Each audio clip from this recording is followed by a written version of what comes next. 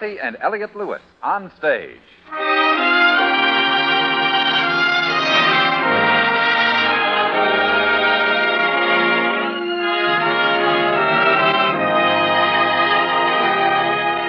Cathy Lewis, Elliot Lewis, two of the most distinguished names in radio, appearing each week in their own theater, starring in a repertory of transcribed stories of their own and your choosing. Radio's foremost players in radio's foremost plays.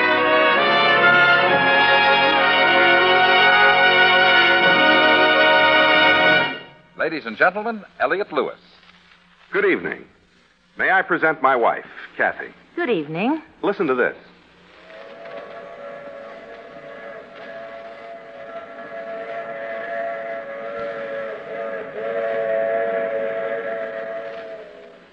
Does that make you want to take off to faraway places? Or this.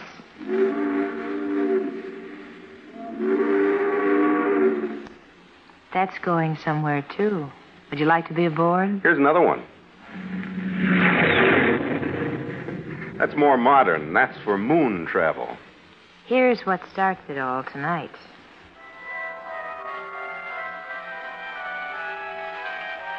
That's what Sara Lee's mother heard. And that's what begins our story tonight. It was written for us by Morton Fine and David Friedkin, and it's called Sara Lee, You Are Lovely as the Summer Night.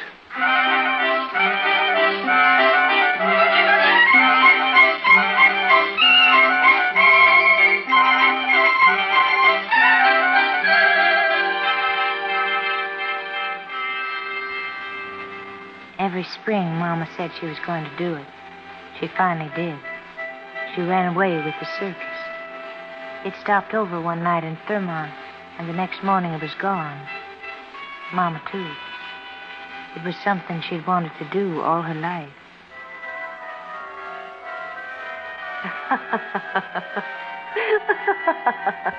Mama?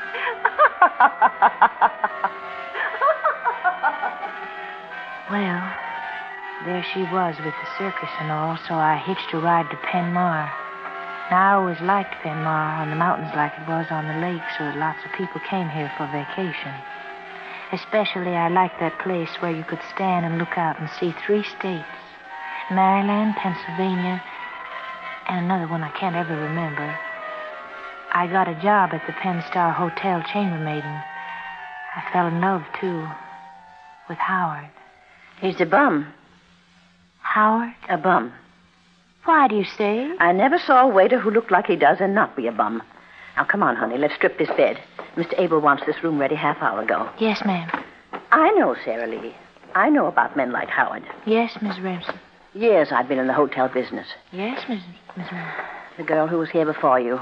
You know why she's not here anymore? Why? Howard. What'd he do? She got carried away, too. His white coat and black bow tie, and the way he'd sweep through that door, soup overhead. She got carried away, too. Well, what'd he do? He led her on. Led her on so that the poor girl just withered like a pale rose needing water terrible. Well, if he's going to break my heart, that's the way it's going to be. If I got to wither like a pale rose, that's the way it has to be. Guess you think you're in love with him. Yes, ma'am. When you don't have a chance. You see the way he's given the business to that girl who sits at the table six. And you see the way she's given the business right straight back. You don't have a. I do, too. Hmm. I'm making him supper tonight. Huh. Mr. Pascal's letting me use the kitchen. I'm making Howard supper tonight. I'm going to serve it to him right in my own room.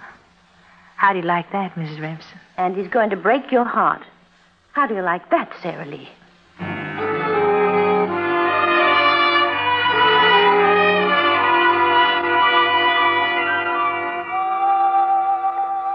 More corn pone, Howard? Sure, Spoon you some molasses. sure, Enjoying your supper, Howard? sure, More coffee? sure. Nice here, Howard, isn't it? Nice. On your feet all day, waiting on tables. Nice to sit down here and relax and eat good food and be waited on yourself. Nice. Howard, Hmm? I love you. I love you, Howard. Sure. What you looking for, Howard? Can I get you something else? Sarah Lee, Yes, dear. you're pretty. Prettier than that girl who sits at table six, dear. Sure, Prettier than that girl who was here before me and whose heart you broke, dear. sure. You're not going to break my heart, are you? No. I wouldn't care if you did. Sarah Lee, Yes, dear. come here. Howard. Who is it? Valerie, Who? Table six. you in there, Howard? Bye, Sarah Lee. I am maple sugar. Mr. Pascal in the kitchen told me I might find you here. I am maple sugar.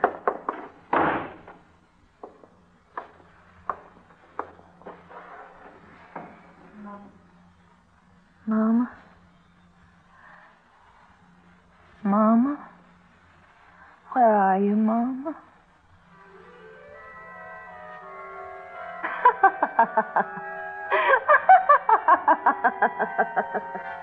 he broke my heart, Mama.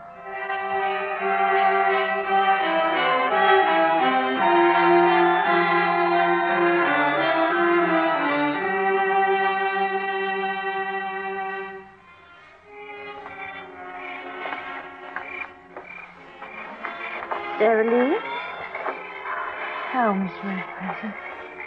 I must say it's a nice night. Pavilion's packed. All those dances. Yes, ma'am. I must say you look pretty. Thank you. New dress. I traded with Mrs. Lee in 226. I'm babysitting for it. Sarah Lee, Yes, ma'am? you waiting for somebody out here? I might be, Mrs. Remsen. I thought you told me how it broke your heart. Yes, ma'am, it did. Then how come you're waiting for him? He broke my heart. That lets more love come in. Sarah Lee, Yes, ma'am. he say he meet you tonight? He hinted he would.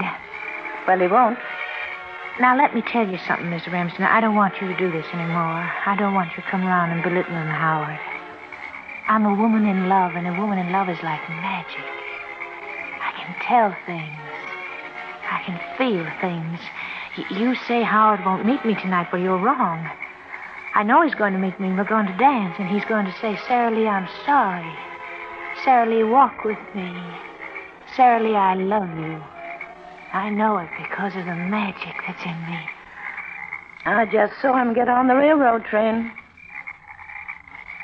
Railroad train? To Baltimore and Ohio. He got on it? With the girl from table six. Where's the magic now, Sarah Lee? Woman in love. what do you feel now? Who's going to meet you now, Sarah Lee? Who are you going to wait for now?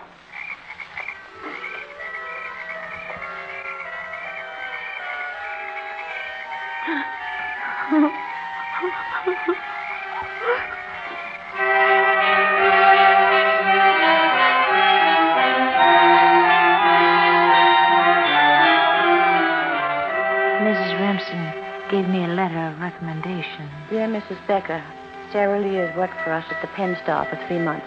She's a good girl, a good cleaner, and very neat. She says she's going to Philadelphia to look for a job, so that's why I'm writing you. Maybe you can find a job there for her at the Franklin Arms. Say hello to Mr. Becker for me. Bessie Remsen. And Mr. Pascali packed me some turkey sandwiches for the train. Nobody saw me off. One fellow on the train wanted me to get off at Harrisburg, but I wanted to go to Philadelphia.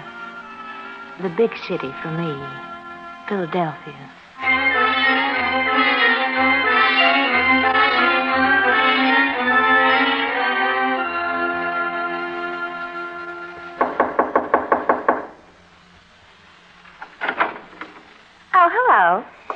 Mrs. Becker said as long as I'm going to work here, I should bunk here with you. Oh, come on in, honey.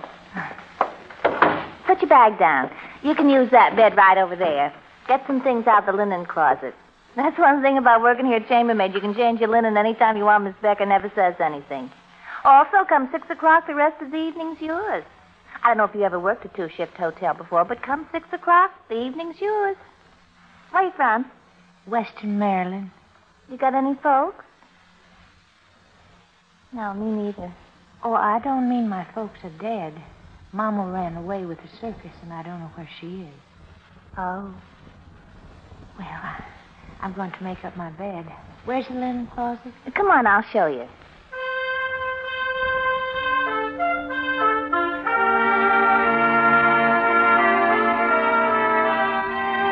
was nice. I liked my work. I liked Mrs. Becker. I liked Muriel, the girl I roomed with. I began to think of Howard only in the afternoon because I was so busy in the afternoon. Then one day, a funny thing happened. I was emptying the wastepaper basket of room 411, and there was Howard. It looked just like him. There he was with his picture in a magazine, not on the cover, but on the middle page someplace open the way it was, the way someone threw it in a basket. It sure looked like Howard. No, it wasn't him. The magazine said his name was Trevor West, and he was on the stage. But he sure looked like Howard. Enough like him so that I cut out the picture and put it above my bed. Who's that? Fella I know. Fella, you know? That picture's been cut out of him, Uh-huh. huh? Mm, good looking. Uh-huh. Know him good? Uh-huh. Real good? Uh-huh. What's he do? Uh, Well, what's he do? he's on the stage. Oh. I didn't mean to lie. It's just that he looked so much like Howard. Honestly, it could have been the same fellow. The way their heads were shaped in the mouth and the expression in the eyes. If you squinted, you just couldn't tell any difference at all. What happened then, I can't explain at all. Being in love with Howard and always looking at the picture, I fell in love with the fellow in the picture. My. And then we'd walk out to a place where you could see three states Maryland, Pennsylvania, and. Uh, uh, You and Trevor, huh? Trevor and me. Hmm. Oh, he loved me. He loved me so much I had to run away from him so he wouldn't be sitting in front of my door so much so he could be on the stage. Tell me about the lake. Ah, well, we'd go out on Lake Mead together when it was moonlight, nothing around except the crickets on shore and the music from the pavilion across the lake. Oh, I get goose pimples. You want to hear some more? Not now. But you ought to hear about the time we hiked together and Trevor killed a copperhead. Copperhead. Oh, You want to hear me tell it? Not now.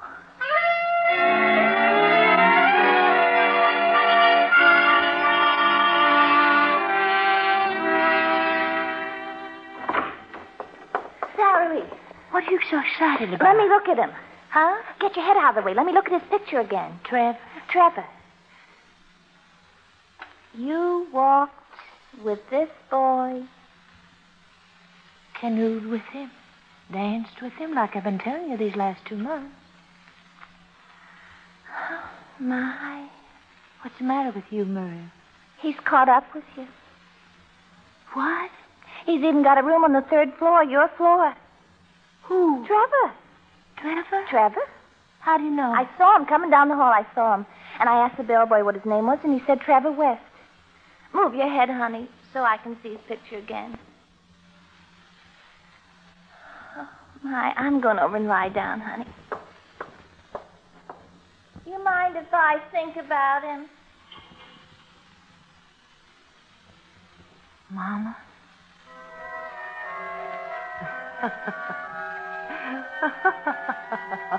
Listen to me, Mama. Don't let him break my heart again, Mama.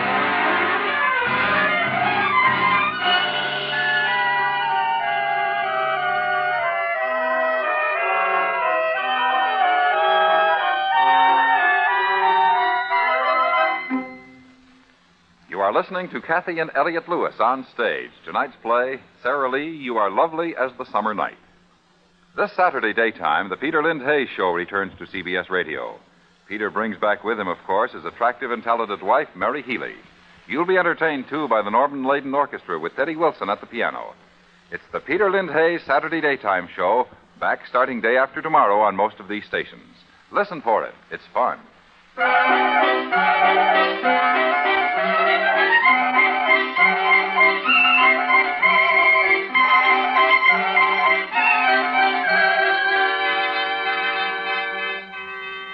would like to describe Trevor West.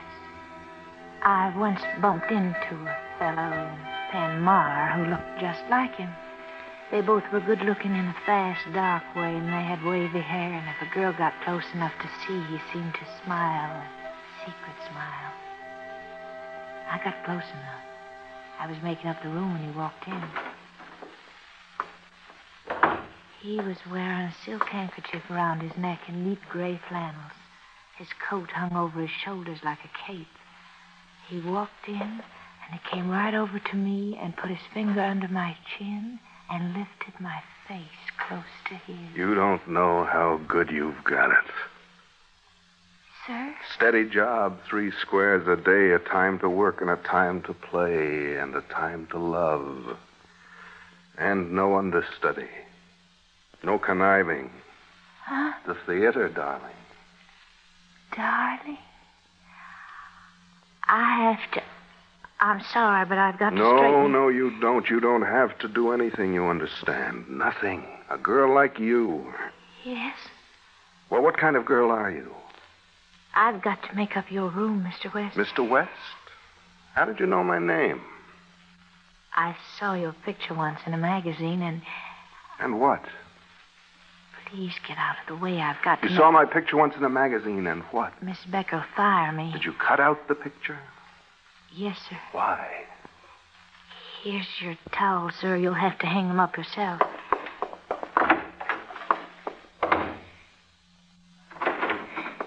And here's your soap. Catch. Thanks. Say, Yes, sir. what's your name? Sara Lee. Mr. West, Yes. you can have another one. Catch.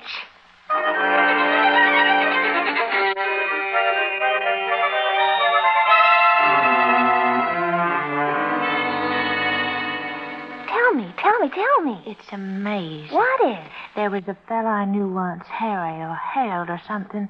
Voice sounds just like Trevor's. Looked a little like him, too. Tell me what Trevor said when he saw you. Well, you know. What? He wants to marry me. Oh, my. He quit his job and he searched and searched, and now that he's found me, he wants to marry me. Oh, my.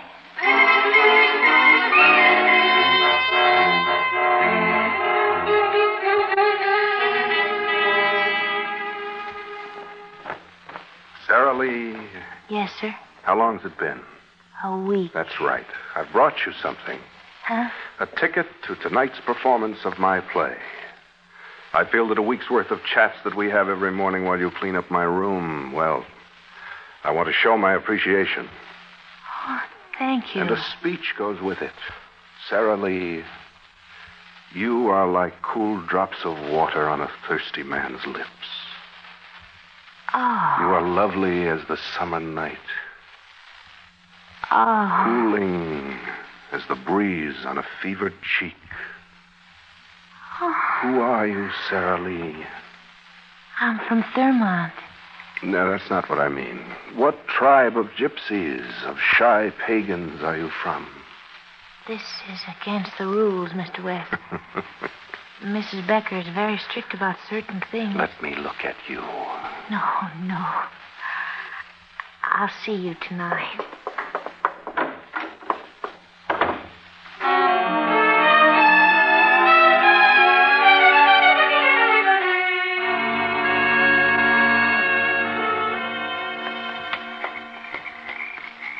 I didn't look when you were kissing that girl on the stage. Mm-hmm. You were wonderful, Thanks. Trevor. Mm-hmm. What you said, what you told me. Did you mean it? Mean what? I was lovely. As the summer night, Sarah Lee, Yes, dear. let's sit down. All right. Oh, my. Isn't this beautiful? Darkness all around, and yet we know over there trees and flowers. I want to tell you something. Yes, dear. I'm lost and I'm lonely. What? I'm lost and I'm lonely. You? My heart's a rover and my dreams wander the paths of the world, and I'm lost, lonely. Oh, Trevor. It seems I search the faces in whatever crowd, seeking, is this the one I say? Or that one, is that the face?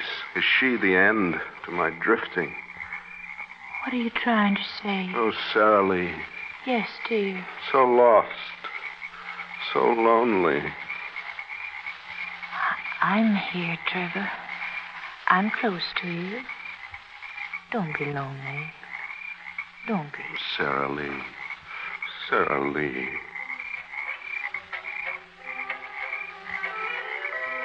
Mama.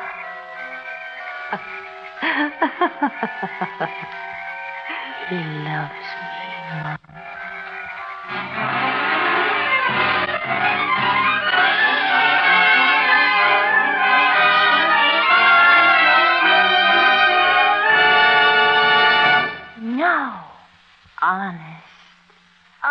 The most romantic thing I ever heard. Meredith, you don't know the half of it. He said that to you? Yes, yes, he did.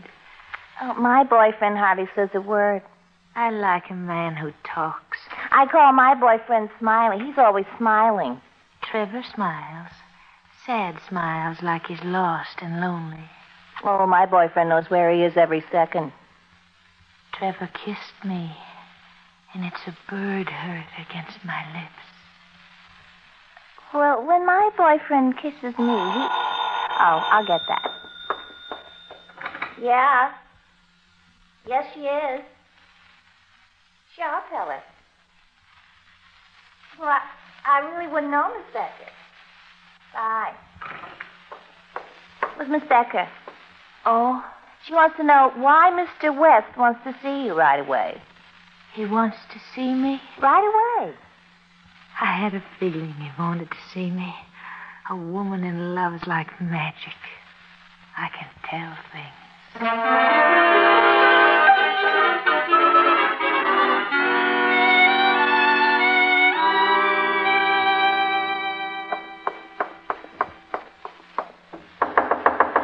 Come in. Hello, Sarah Lee. Oh, Trevor. Hold me, hold me. I can't. I've got to close this suitcase. Suitcase. I just phoned downstairs for the boy. He'll be right up. You're leaving? Yes, I am. But I'm not packed or anything. You're not packed?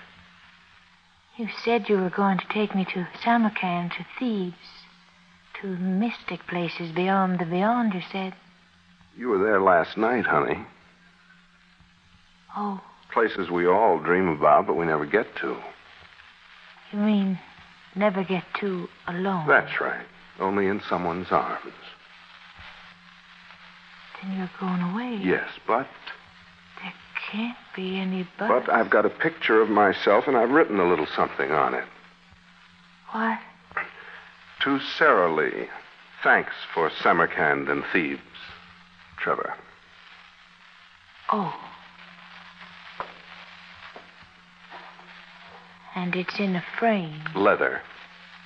My show's closing. I've got to leave. What can I say to you? Just goodbye. Goodbye, Trevor.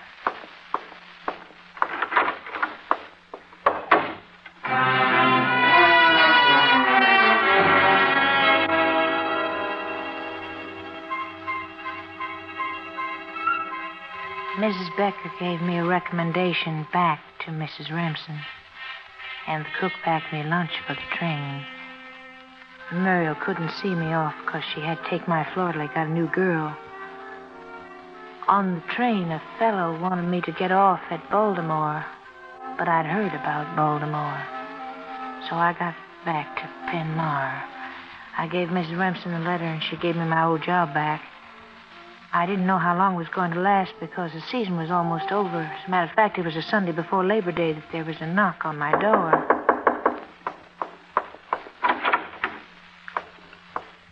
Oh, Hello, Sarah Lee. come in, Howard. For a minute, I thought it was. Who? It doesn't matter. Who? A man I knew in Philadelphia. Well, Howard, it's nice to see you again. What have you been doing? Nothing. How is it that you're back here in Penmar? I heard you went away with the girl at table six. It was table six, wasn't it? Where'd you go? Baltimore? Yeah.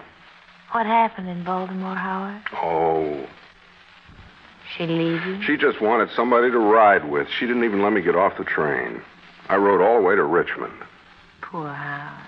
Sarah Lee, Yes, Howard? I've missed you. You have? Oh, yes. Honest? Honest. Oh, I've missed you.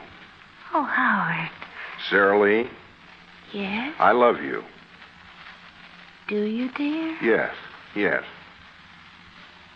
Oh, my darling. Sarah Lee, What? you're lovely. What? You're lovely. As. As the summer night? Hmm? Am I as lovely as the summer night? Sure. Then say it. Tell me I am. Sarah Lee, you're lovely as the summer night. Darling.